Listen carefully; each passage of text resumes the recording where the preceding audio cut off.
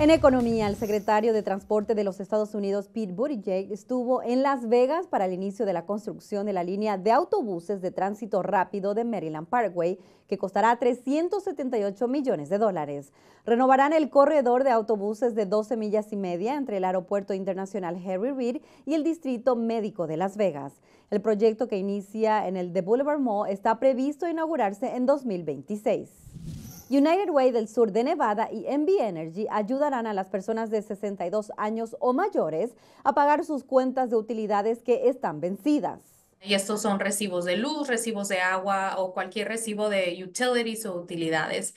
esto se va a llevar a cabo en cuatro, cuatro localidades en esta semana y la próxima.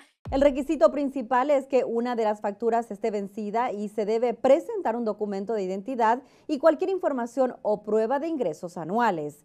El primer evento es mañana 15 de agosto en Palace Station Hotel y Casino y varios más el resto del mes.